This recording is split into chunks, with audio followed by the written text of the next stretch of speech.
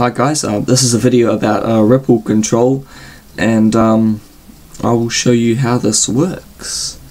Um, theory and uh, practical, I have got a, a photo to show you. Alright, so first of all, um, yep, that's fine, sorry about the noise. Um, right, let's start off with the um, Regulus 50 Hz sine wave. This is what they look like just here. 50 hertz goes up and down. Um, I will include quite a few links in this video to uh, Rodalco's videos of um, ripple control. He has an actual oscilloscope hooked up to um, a transformer showing the actual sine wave so that's quite cool. So this sine wave is a 50 hertz sine wave.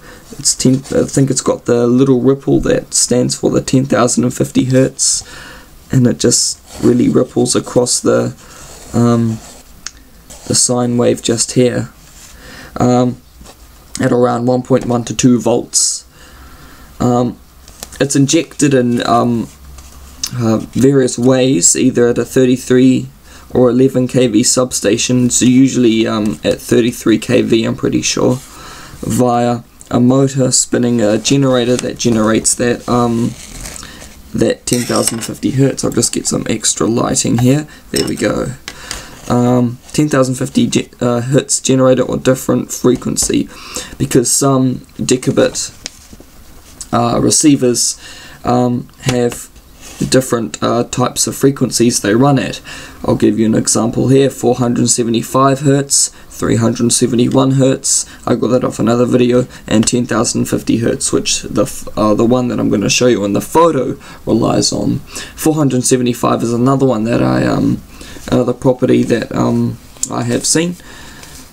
Um so yeah it, the signal gets injected through 33 kV and it goes across the grid to 11 kV gets hooked up goes straight through that transformer and uh, that's a, that's how I think how it works. It may be different in other countries, but in, New, in the New Zealand system, I think that's how it works because um, it'd be kind of useless to um, uh, to have it at um, individual houses. Um, so it's spread throughout the whole grid system, and the um, and the uh, the receivers that pick up a certain signal on a certain channel, which I'll be talking about soon, um, will get triggered and then they'll turn on um, off uh, just um, uh, loads like hot water, night store heaters, and um, other um, other uh, other systems like that. So it's mainly uh, just underfloor heating, night store, which is the same thing. Night store heaters and underfloor heating's a bit different the way it works, but they both use um, they are all in the electrical system. So it's yeah it's mainly hot water and night store heaters but yeah these days it's just hot water. So it goes through the transformer to these houses and um, one of these houses would probably be yours and that's your meter board just there. And I'll show you in here it's just your main switch fuse meter sorry for the bad quality um, and there's a Wega decabit uh, ripple controlled receiver which is this one here. And um, this is just the nameplate. Get some more light on here. Um, sorry about the lines as well. That's just the, the camera. Um, so usually actually this is not good quality. I'll show you the picture and I'll talk about it while I have the picture. So um, this is how I think how it works. And um, I'll leave a few videos in the a few links in the description to videos that I quite like. Anyway, here's the picture. I printed it out. Um, this is my one. This is the one that I have at my place, or not my place. It's where I live. Um, it's a Zellweger Uster Limited Auckland Decabit RE1 Ripple Control Receiver. Um, the switch rating is at 40 amps at 400 volts. Um, that's and it, uh, the control frequency is 10,050 hertz at 1.1 volts. Um, supply voltage 330 volt 50 hertz. That's just normal grid voltage in New Zealand. and that's the um, switching frequency for this one. Some of them are different, so some of them would be um, 400. Uh, I saw on here 475, which is at another property that I that I also uh, stay at, and um, another one that I found out on the internet. Um, that's uh, 371 hertz. Um, street lights do rely on this type of uh, equipment, but they are on different channels.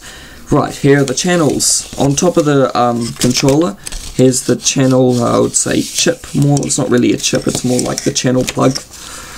Um, so this one's at 100 on number 4 channel.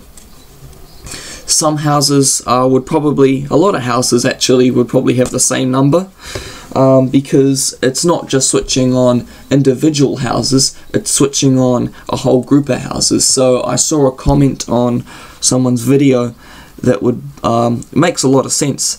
It's um, so the power com- what what they're doing here is basically the power company instead of um, all these hot water cylinders switching on not at the same time, but if the hot water cylinders weren't controlled by one of these receivers, they'd be switching on at any time.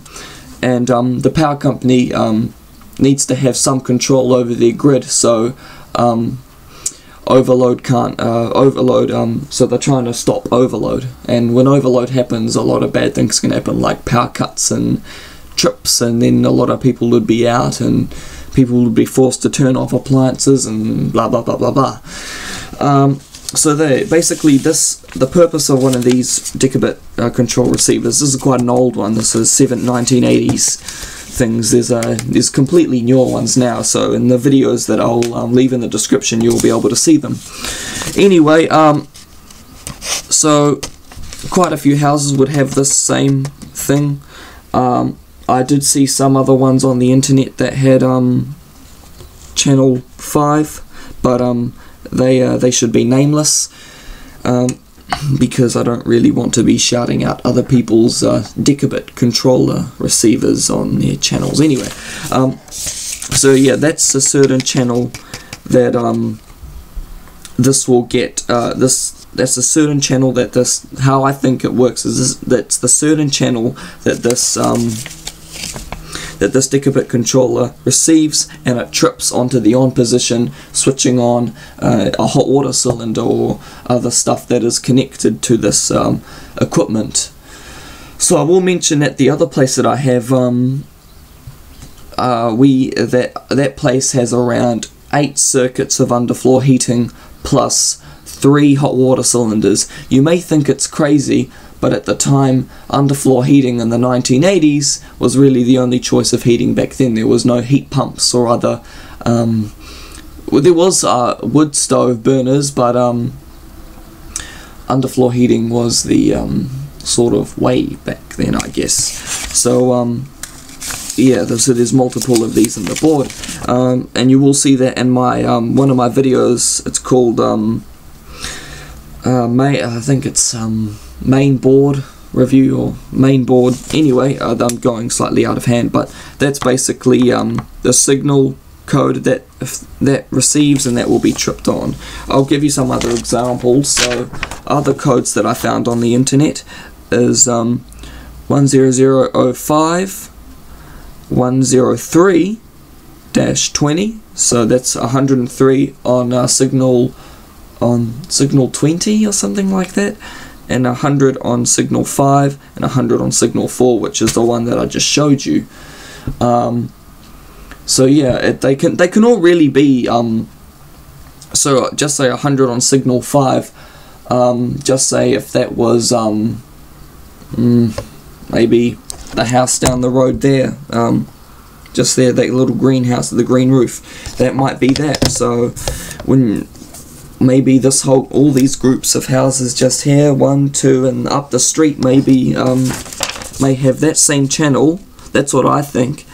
Um, and other houses maybe down the road might be um, 100 on channel 5 or so the other this is um I'm, I'm not gonna show you whose this one is but I found this one on the internet. This one's actually on the other property that I uh, sometimes stay at and um, that's 103 on channel 20 so um,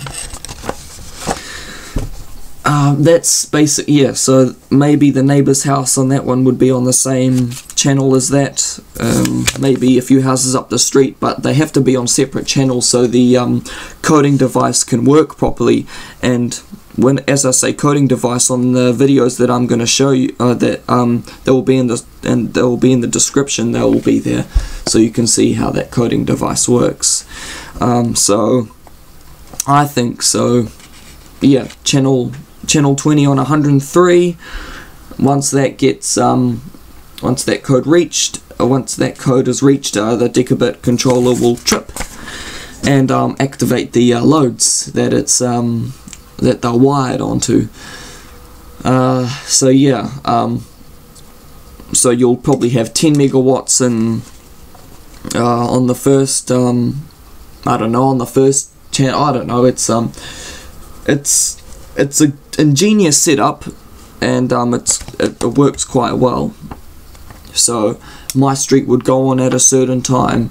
So usually I'll tell you um, where I live. I'm not going to state where I live but um, where I live uh, around 10 11 maybe 12 a.m. at night um, I can on my other videos that I showed you you can visually hear my meter humming and making certain tones and my lamp flickering uh, so that's um, what's happening there so that's how it works so um, hope you enjoyed the video. I don't think I really have uh, other things to tell you but I will leave quite a few videos in the description. And um, if you search up Zellweger ripple control receiver on Google uh, click on the Wikipedia page and you'll find some photos there um, from uh, other people and uh, you'll see um, how it works. Um, so uh, thanks guys. Um, thank you for watching I'll see you next time. Give it a like. Give me some feedback in the comments. Oh jeez a bit tired. Uh, give me some feedback and um, reply to you as soon as possible. And uh, thank you for watching